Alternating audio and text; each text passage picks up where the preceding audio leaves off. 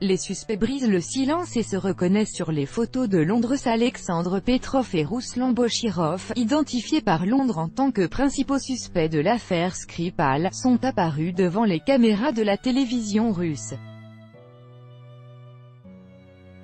Ils ont confirmé qu'ils s'étaient bien rendus à Salisbury le 3 mars dernier, n'y passant pas plus d'une heure en tout. Dans une interview exclusive accordée à la rédactrice en chef de Sputnik et RT, Margarita Simonian, Alexandre Petrov et Ruslan Bochirov ont annoncé qu'ils s'étaient rendus à Salisbury le 3 mars dernier en tant que touristes, rejetant les informations selon lesquelles ils seraient des agents du GRU, le renseignement russe. Nous étions assis dans un parc, sommes allés dans un café, buvions du café.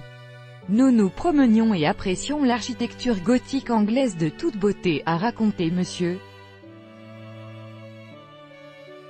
Bochirov, interrogé sur le but de leur visite à Salisbury.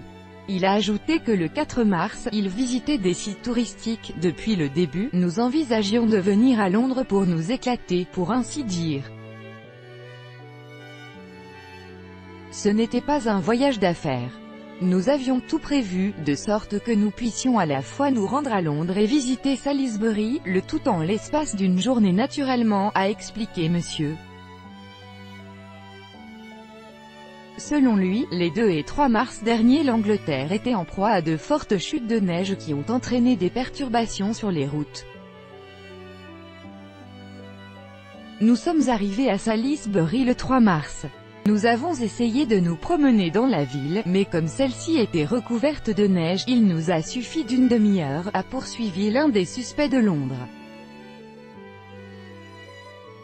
Après avoir passé une quarantaine de minutes dans un café de la gare, les hommes ont alors pris leur billet retour.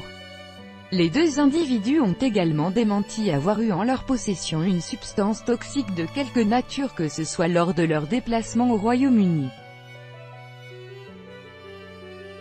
Ils se sont en revanche reconnus sur les photos diffusées par la police britannique et confirmé qu'Alexandre Petrov et Rusland Bochirov étaient bien leurs vrais noms.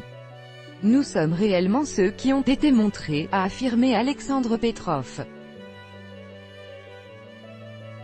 Interrogés sur leur métier, les deux interlocuteurs ont affirmé qu'ils étaient entrepreneurs dans l'industrie du sport et n'étaient aucunement liés au renseignement russe. Si maintenant nous parlons de notre affaire, les personnes avec qui nous travaillons en prendront un coup, et nous ne voulons pas de ça, a ajouté Ruslan Bochirov. Tout ça, c'est une coïncidence fantastique, fatale. C'est tout, a résumé Alexandre Petrov. J'espère que la situation se résoudra et que la partie britannique présentera ses excuses pour ce qu'ils ont engendré et retrouveront enfin les personnes impliquées dans cette histoire de Skripal, a conclu M. Bochirov. La semaine dernière, le parquet britannique avait affirmé avoir identifié deux Russes qui, selon lui, opéraient sous des pseudonymes, Alexandre Petrov et Ruslan Bochirov, et qui auraient tenté d'assassiner les Skripal en Angleterre à l'aide d'un agent neurotoxique.